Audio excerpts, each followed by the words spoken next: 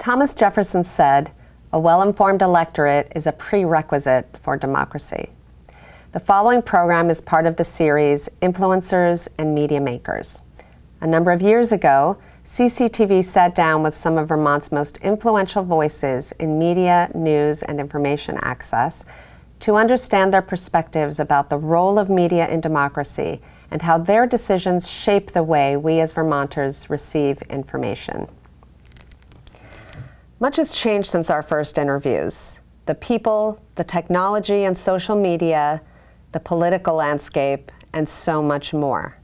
Fast forward 20 or so years, and in collaboration with Leadership Champlain, we are revisiting the topic with a focus on what has changed, gaps and challenges across geographic, language, and socioeconomic boundaries.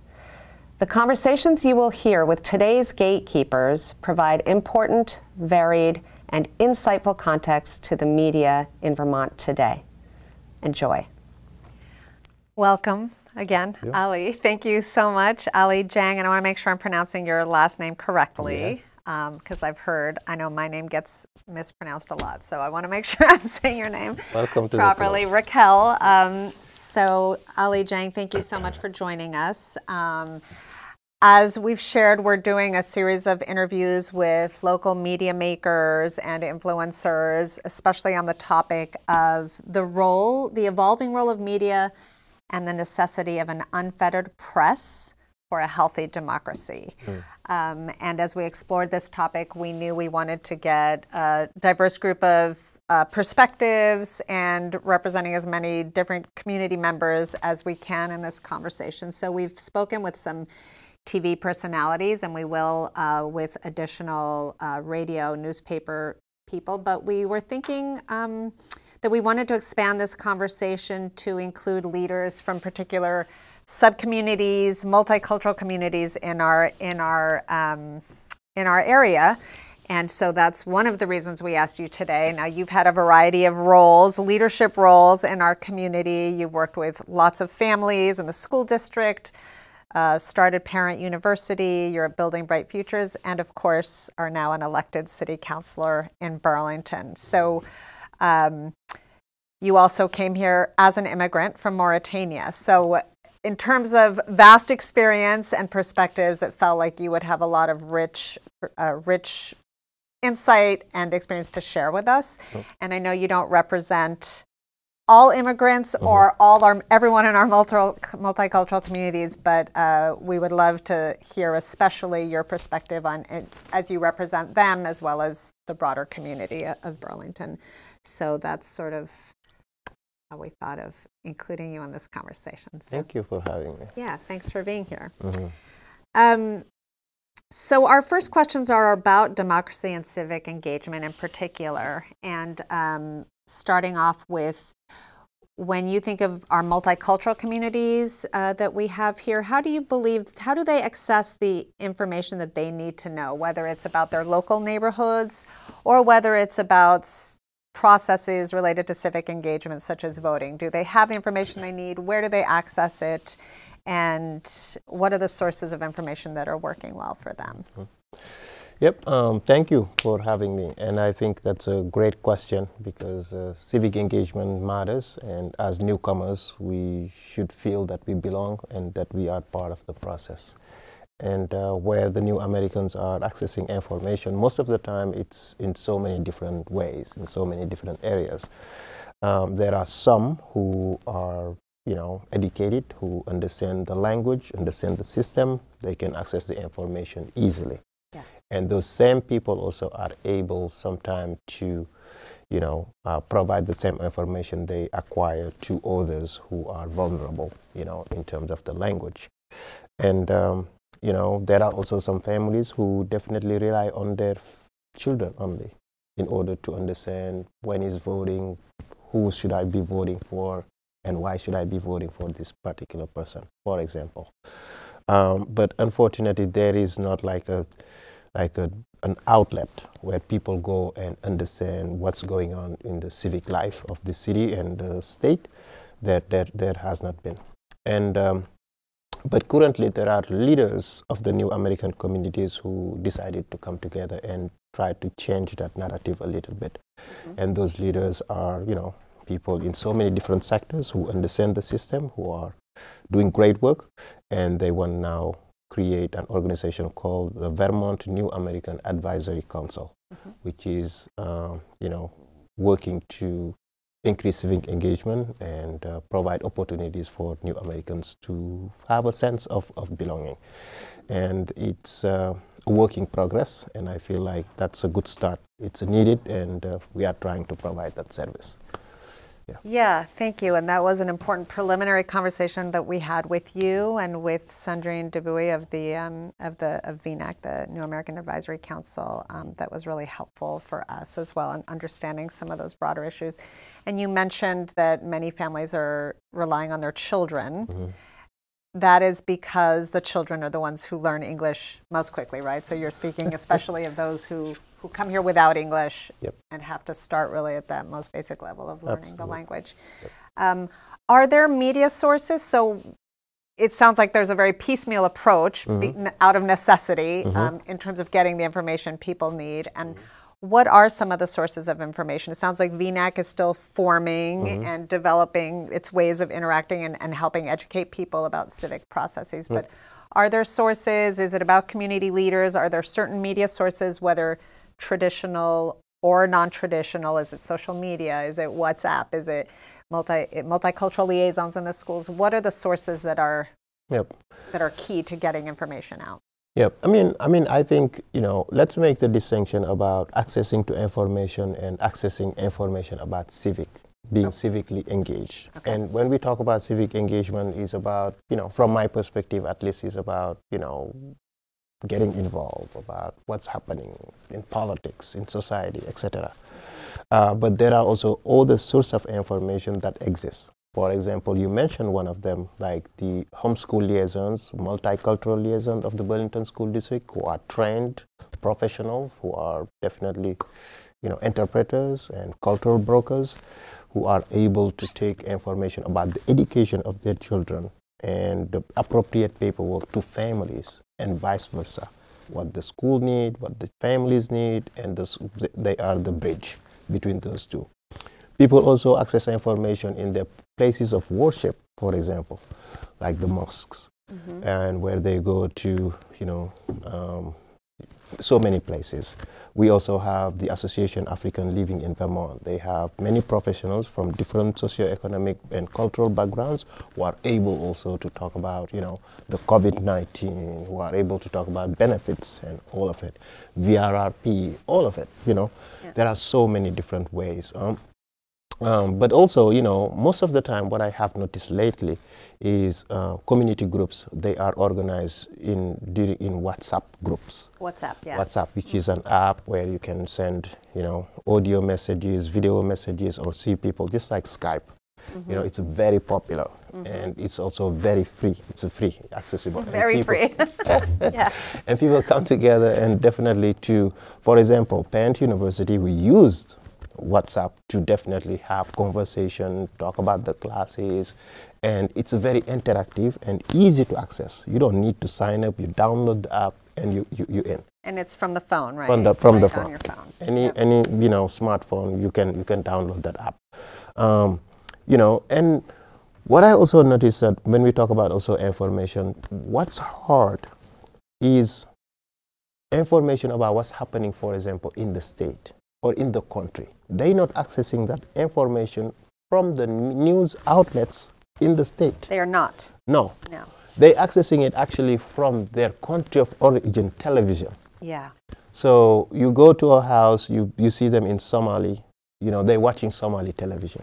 Mm-hmm. And they are here in the United States. It's not WCAX, it's not Channel 17, it's not Channel 5, but it's their country of origin, national television that provide that information about what's happening in Ukraine, for example. Right. You know?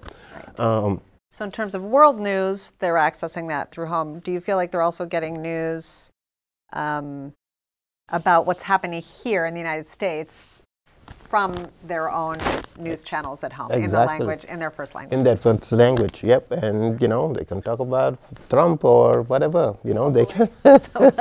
yes, and I think I think I think why it's important, well, maybe for them is these new outlets here is not providing in one from their own language, and also two, hearing it in English. I mean, they will not be able to comment. Mm-hmm. But in their own language, the conversation can start. Yeah. People around a cup of tea, they can talk about what the TV is, what is happening in the U.S. But the, the news is not coming from here. Right. You know, that's just an observation that I that I have noticed. Right, Yeah. and that might work for sort of national level news, but probably not so much with news about Vermont. Like, Exactly. Even though we're very important, we're probably not getting reported on in, on the Somali news stations, is what I imagine. Exactly. But, okay. Yes. Um, so it sounds like non-traditional sources like WhatsApp in terms of information Mm-hmm. sharing. Yeah, and what about um, civic? And what about things like voting? Like how are there ways that are working or not working? Um, you know, and you know we're being hosted here by CCTV, and that's you know part of part of the mission here is like to provide access to information and, and democracy supporting processes. So Mm-hmm. so I think there's also a curiosity about like what are things that could be happening if if um, Yep. to better support. Yep. Um, you mentioned now a community television that is that has like a mission that is unique, and from my perspective, I do not even consider them as like this big news outlet. This is for me, and anyone feels like this is my home. You know, it's not only about even accessing information, but also prov- uh, producing Right. your own information. Sometimes you go to CCTV, you see Somalis together just talking in Somali. It's for them. Yeah. You know, it's it's that's that's that's why it's beautiful. This organization. Um, but also, I believe that also, you know, it does. This organization also does an amazing job by basically uh, identifying, you know, youth, youth, training them, giving them the tools in order to go to the community and create their own, basically, television, their own programming, sometimes in different languages. You know, that's that's amazing. Um, but you know, unfortunately, I feel like you know, uh, seven days did start something amazing.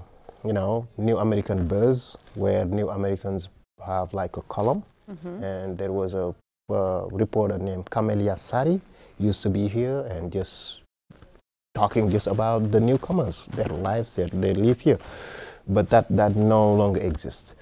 And it's unfortunate that the other media outlets are not providing that level of, you know, civic engagement, you know, here. But when we talk about also civic engagement, I think VNAC also does an amazing job. And uh, our members worked very hard in making sure that the ballots are now translated in different languages. At least it's a sample in all voting booths, for example. Everywhere you go, there is a sample in different languages that you can reflect on and uh, vote. Um, and um, yeah, so basically, I feel like uh, it's an ongoing process, and uh, people are identifying the issue, and you know, it's a fact. The matter of fact that you you guys are having this type of you know uh, project to talk about media and also inclusion in the media.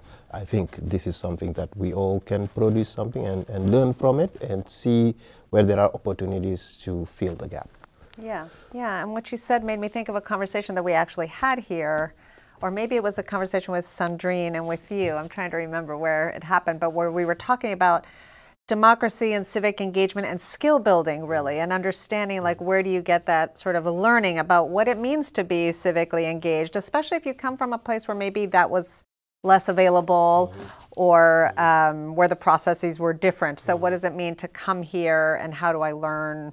You know, even though some people who are born and raised here sometimes are not so civically yes, engaged. So, it's not right. just a question of coming from another country, but just how do we develop those skills in all of our community members? And what does it take to help people feel like informed? I love how you said this place is sort of like home like it's our place too. We can come here and make our own news in our own languages. Um, so yeah thank you. Um, we've been joined by kelly here. No sneaking in. Um, so another one of the topics that we've been ta- speaking to our in our speaking about in our interviews has been the topic of news deserts, which I'll read our definition we've been sharing here. Mm-hmm. We define it as a community, either rural or urban, with limited access to the sort of credible and comprehensive news and information that feeds democracy at the grassroots level. Um, what are your thoughts? And again, you don't have to speak only to the multicultural communities. Of course, you have that unique perspective of the mm-hmm. people that we're speaking with. But um, what are your thoughts on what constitutes a news desert? And do you think they exist in Vermont? Mm. Yeah. Um, so yes, I, I don't. I personally, I don't think new. Basically, it exists and it does not exist. Okay. It just depends. Mm-hmm. It exists in a fact that uh, basically what news are being told. What is important enough for these, let's, let's say, corporate or privately owned news outlet to decide this is a message we want to share out, mm-hmm. right? So basically, in that sense, it, it, it exists, basically, because they have the power to decide what to let out, what to not let out. And also, you talk about the, let's say, the, the printing, right? Um, they also have the power who to quote, who to include in the in the in the mm. in the article, and who to not. For, mm-hmm. for example, and sometimes you can compare two different articles about the same subject, but still you will not see that it aligns perfectly. Each one of them have their own bias, have their own basically way of doing things, mm-hmm. and they have to stick to it. And even the reporter sometimes is not the one who makes that decision. So, in any way, if you hold the media, you have power. Mm-hmm. Basically, in that sense, it exists. There are some news being told and some that are not being told because it's not important to them. But at the same time, it does not exist in Vermont. Because in Vermont here, we have so many different news outlets that are very different, that are very diverse, you know, and they all provide abundant amount of, of, of media, of, of, of news. Um, but also, you know, what type of news that they, they, they decide to, to share out, I think is, we, we, we have to put it in a balance, right? But from my perspective, it exists and it does not exist. Okay, I think that's interesting that you talk about power, mm-hmm. you know, because I think we're thinking of news desert as in, is there a place or is there a group, you know, are there holes in where news media, where there's access to media and information, mm-hmm. whether it's a geographic place or a group of people? Are there people who aren't able to get what they need in terms of information? Mm-hmm. But you sort of turned that around mm-hmm. and spoke about the power um, and are we inadvertently creating deserts, which it sounds like you don't think we do so much in Vermont, which is good to hear. Um, in terms of just our decision making about what what is news mm-hmm. or the angle that we use to tell that news, the, the bias that we may not even realize we, we have as we tell the stories. Exactly. And, and this, what, what you just said, made me think also of one thing. Currently, the Muslim community around the world, and here they're celebrating the month of Ramadan. Right. You haven't read about it in any media. You haven't watched a clip about Ramadan is happening in the state. Mm-hmm. Our children are going to these schools. Mm-hmm. The teachers need to know, the community need to know, in order to build a community. We are not the white Vermont that was here a couple, you know, centuries ago it's changing and we have to embrace that change and the media has a role to play. We have a mosque. The imam has not been interviewed. What is this? What does it mean? The co-workers that you work with, what are the perspective? What should you do for someone uh, who's celebrating Ramadan? What should we avoid? You know, that, that education, the media had the power to use and educate, but here, it's right here. Right. It doesn't exist. So there is new desert in that sense. Right again in terms of what gets covered. And so we could take this moment to say that Ramadan Mubarak Thank is you. one of the one of the greetings that we would give at a time like this, right? Let's take our little tiny moment for um, educating. But yeah, I had to learn that myself um, before I met with you. I was like, okay, what am I? What do I need to say again? And we don't we don't offer you food right now. So and so are these things. No, but I think it is important, right? Like because we have so many neighbors who are observing Ramadan. So thank you for bringing that up. Um, and thank you for joining us during a month that is uh, the most important time of year, right, Yeah. for people who celebrate it. Yep. Um, so let's see. Uh, impact of social media.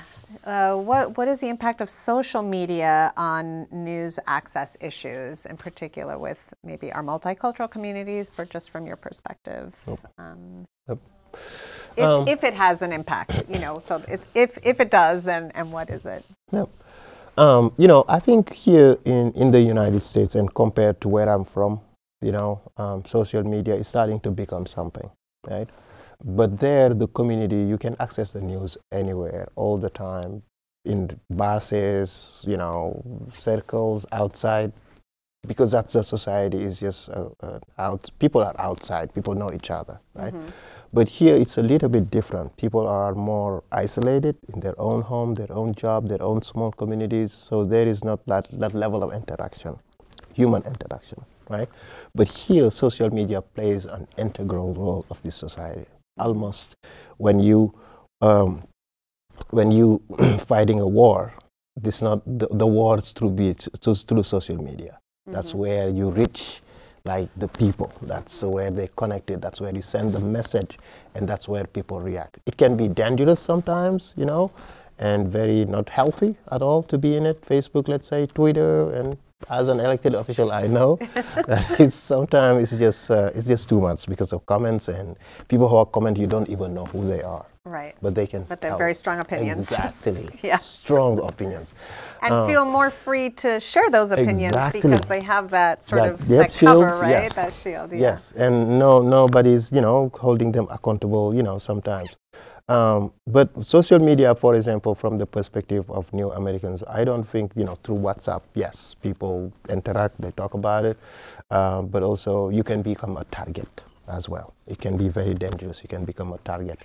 Um, the, the social media also can be very you know because you can access all type of personally i can access all types of information that i that i look uh, into facebook or twitter quickly you know um, and um, i think um, if it was in africa i wouldn't have had that opportunity but here at the same time there is just you need to find the balance find the limits you know when it's not healthy you get out when it's healthy interactive you, you're learning you're growing it's it, it's good Yeah. Yeah. Yeah. Okay. Um, all right. When we so sort of moving to more your personal experience as a as a leader in in the community, um, from what you see, what makes an influencer? When you think of yourself or other leaders, uh, whether um, whether on the city council or within the multicultural communities. Um,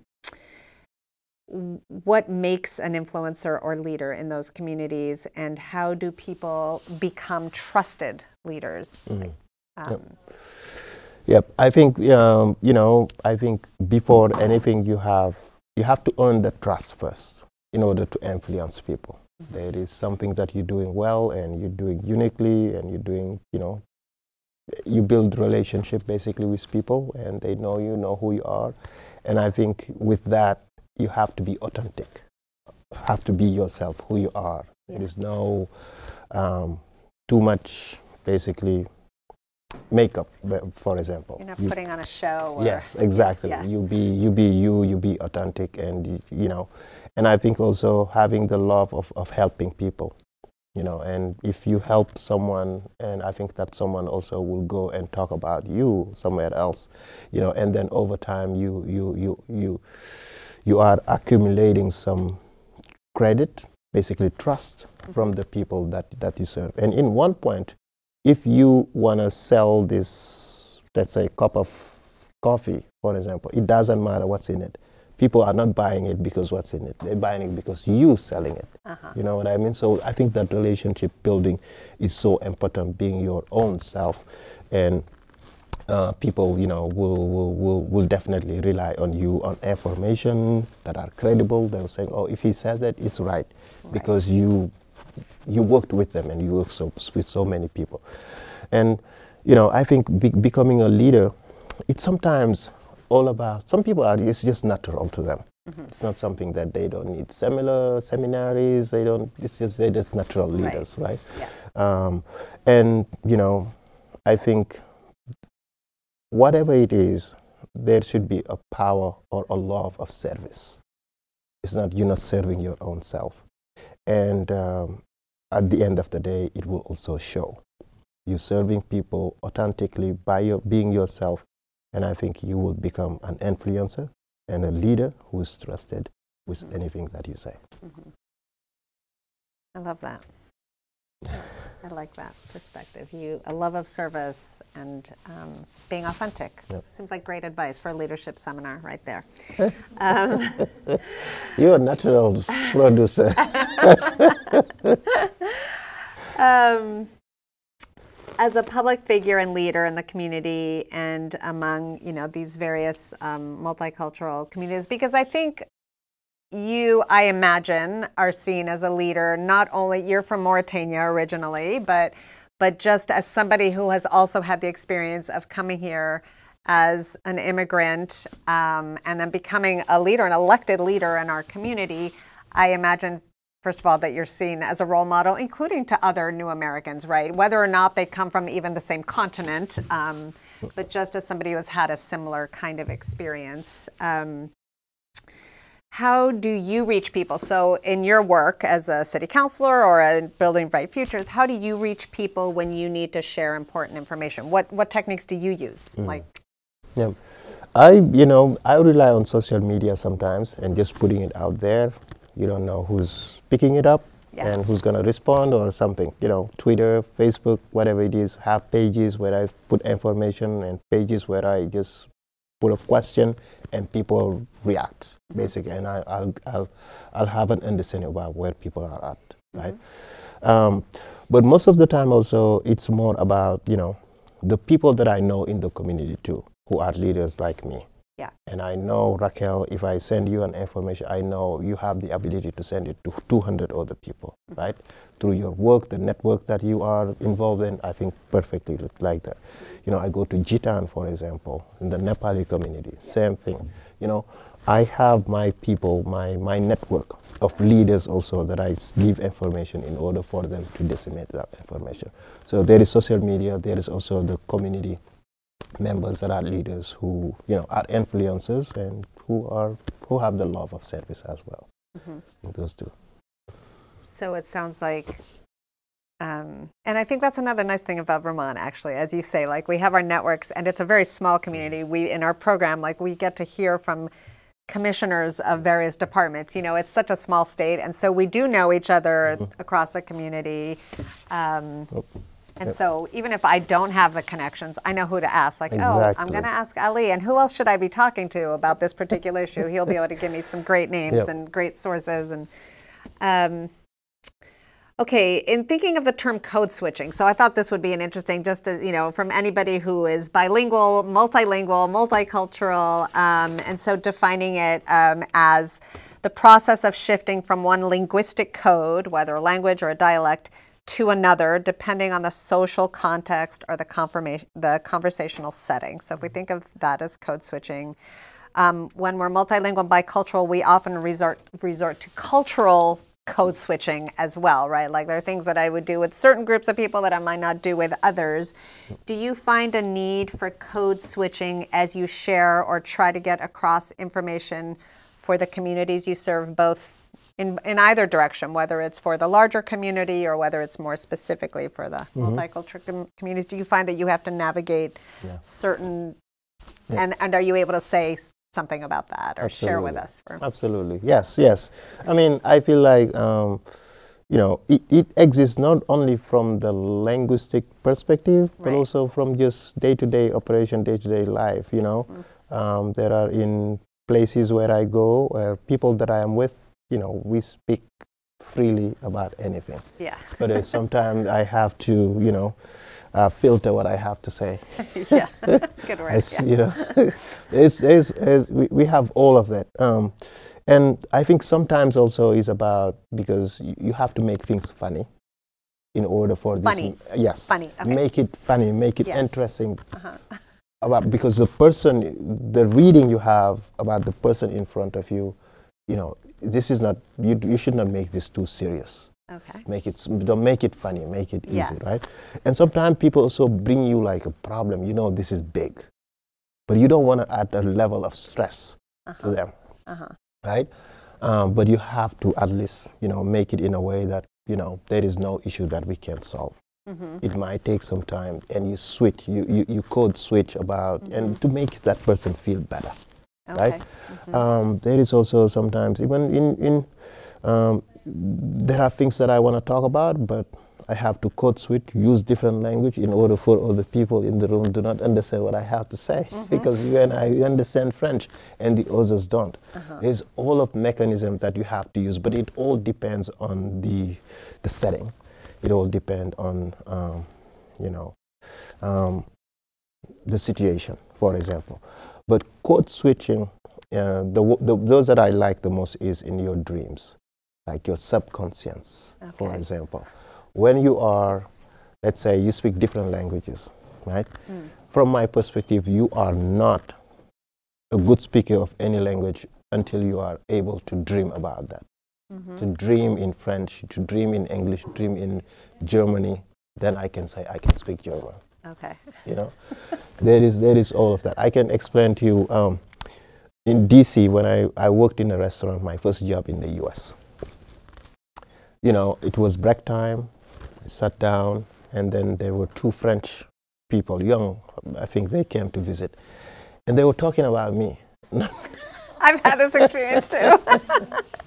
not knowing that i speak french They, like, not knowing that you spoke French. No. Right. Yeah. And and and and to them, I, they like, okay, is he African American or is he African? Uh-huh. And the woman was like, oh, look at his nose. This guy is. this guy is not sure here. Uh, and then in one point, you know, they asked me where is the White House, and I responded to them in French. so funny.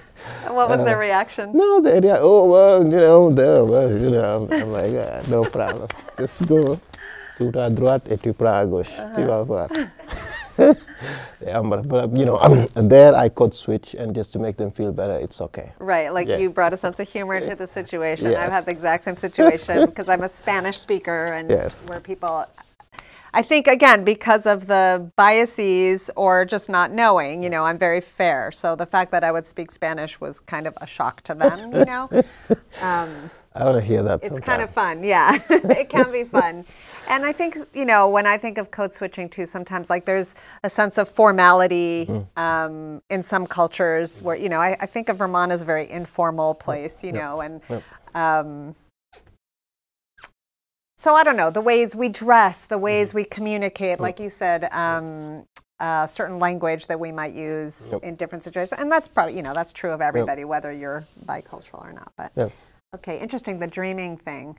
Because I sometimes feel like I don't dream in a particular language. Like I don't even think, like I'm not conscious of what language I'm even dreaming in. Do you know what I mean? So, yeah, that's Mm. Pay interesting. that attention. What's that? Pay attention. You might be dreaming in different languages, yeah, but not. yeah, it's almost like, yeah, anyway, that's another, I feel like we could go off on a lot of tangents here. um, Okay, let's see. Perspective on partisanship and bias in media. So it's hard not to talk about media nowadays and think about this and just the whole topic of partisanship as we talk about democracy and civic engagement. Um, some of our questions for media makers have been around these topics, um, especially in the national media. To what degree do these issues show up, if they do, um, in the information sources that reach people with a little less English or who come from different different cultural backgrounds? Does does the partisanship that we are conscious of, sort of um, as people born and raised here and being English consumers of English language media, does that come across, or is that as present for people in the new the new American multicultural communities? Are they is it an awareness? Is it kind of a curiosity? Is it a problem? How is it perceived if it is? Um, yeah, that's an interesting question. I, I, I, I, don't know that much about, about, about it, but, but, but I'm gonna tell you. I think I talked to kind of talked about it earlier. You know, about these medias. They all have their own mission and also basically vision about what type of media they want to share out, etc. You know, the printing sometimes they choose what to quote, what to not quote mm-hmm. about about the the person they interview, right? Personally, I always have sometimes issues with reporters because we can talk about this and then what you when I read your article, I'll call you to just say, hey. I didn't say that. or, or, or you took me out of context. Yeah. Or what are the important elements that I'm like, I ask you to why you did not quote me on those, mm-hmm. for example. But they all have their own stories to tell, mm-hmm. you know, and sometimes it's just a matter of you understanding what to tell, what to say. Yeah, yeah, yeah, and that's interesting because what they perceive as like, oh, this was so interesting what Ali said. I'm going to quote this part, yeah, and you yeah. might be feeling like, well, that wasn't. I didn't think that was the important thing. I thought this other thing was exactly. way more important, but you didn't, exactly. you know. And so when is it bias, or when is it just like, oh, that was really interesting, yep. or maybe yeah, that's something I don't want to bring attention yep. to, right? Like it can be both of those. Um, yep uh, somebody that we were just talking to was talking about the difference. Oh, I know. We were watching a previous interview that we did for this series, and he just talked about the difference between um, what's news and what's opinion. Mm-hmm. You know, and I think mm-hmm. when we think of mm-hmm. partisanship, mm-hmm. like that mm-hmm. feels like something mm-hmm. to many of us that has become such a part of people saying, "Well, that's not news," or "That should be news," but actually, it's not. It's just opinion. You know, and I, I but it sounds like that's not something as present or as occupying of your thoughts on media and democracy necessarily as no, it is for. I mean, yes, sometimes basically because VT Digger, for example, has this you know section about commentaries. Anyone can write a commentary. Mm-hmm. Anyone, right, right? Right. And at the same time, they also have professionals who can do investigative reporting. They investigate, they do research, and then they report about something. But those commentaries, most of the time, people perceive them as like it's investigative just because VT Digger printed it out. I mean, put it on their website, which is completely not the right. I can have an opinion about anything, you know? And sometimes, you know, especially about the issue about the police, there were so many people who attacked me about and in their own opinion, but many people I tried to convey the message, hey, these are their opinions. Mm-hmm. Look at my voting record mm-hmm. and do not judge me because of what a perception of another person. Right. But I think in any other case, uh, people like us or anybody, right, who is new here, you have to learn to, to, to, to, to make your own media, mm-hmm. your own news. It's not because you can tell your story better than anyone, right? Anyone has their own stories to tell, and I think um, learning to write, learning to convey a message is always key because it's your opinion, it's, it's, it's you, you produced it, and I think people can react, trust it, accept it, or not. Yeah. Yeah. And do you feel, so you touched on this a little bit earlier, you were saying that Seven Days used to have a reporter that used to cover yep. issues of particular relevance to our immigrant yep. and former refugee communities. Yep. Um, are there things, are there other, I don't know why that went away. I don't know if you know, but are there things like that that you think could make a difference? Um, you know, whether it's CCTV or WCAX or Vermont Digger, you know, what are, is that a particular action that media sources could be taking to better tell stories or more fully tell them or to increase access? What other steps could yep. the media community be taking? Yep. Um, yeah, that reporter of seven days, I think her name was Kymelya Sari. I believe she was from Sri Lanka. I believe, you know, she, she left. She went back okay. to her country of origin. I don't know the reasons, right? But I think they could have, have found somebody else mm-hmm. who could just have the new American buzz, you know, immigrant buzz in here. Because when you think about it, 57% of the population growth in Chittenden County is composed of people from New American and immigrant community, right? So, I mean, basically, you think about the amount of houses that we buy here, the cars, we make the economy grow, we're part of this society. But all the medias also need to play their role in making those people understand that, you know, the sense of belonging, you know, we all have to play an integral role. Mm-hmm. You are here, you have stories, and we are news outlet, and your stories need to be shared out, right? Um, I mean, I feel like, for example, what I was telling you about um, Ramadan is here, nobody, you know, from stories. me, yeah, I'm right. like my my story doesn't doesn't doesn't have any importance in this society, right? The sense of belonging, we need to plant that seed, not even for us, but also for the future generations, right. and people feel free. Their cultures matter, who they are matter, their sexual orientation or whatever they are.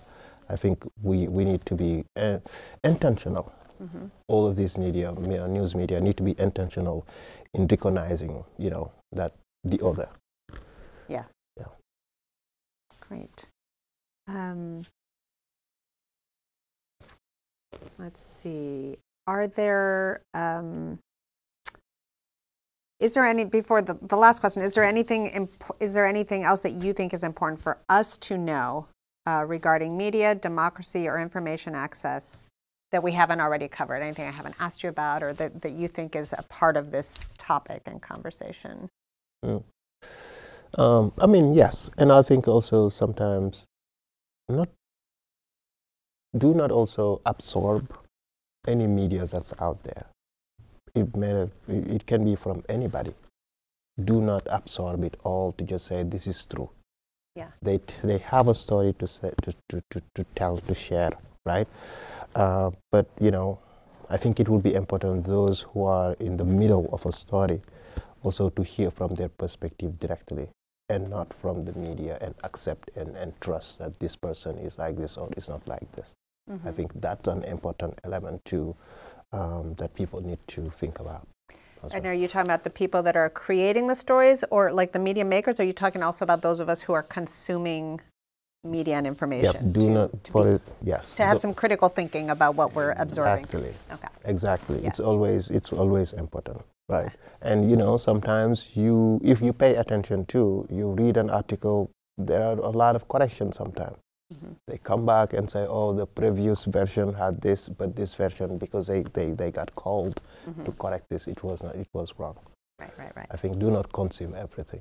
Right. And have a critical thinking. Especially in this day and age where things are shared so quickly or, or out of context. Um, yep. And finally, unless you know, we may have my colleagues may have other questions, but um, is there anything that is giving you like a sense of hope or optimism about what you're seeing related to civic engagement, media, information sharing? Um, are, are, there things giving you, um, or that yeah. you think like highlights or things that are working well, or and there might not be. You could say nope, not yep. right now. That's okay. I hope it's not the answer, but. Yep. Um, I mean I feel like, you know, I'm hopeful. The more that I understand seven, Channel 17, CCTV Channel 17, the more hopeful that I am that uh, that basically it's the, that power is not only at the discretion of just few people, mm-hmm. because this is a community oriented. People can come here and produce and, and you know um, tell their story produce their own media.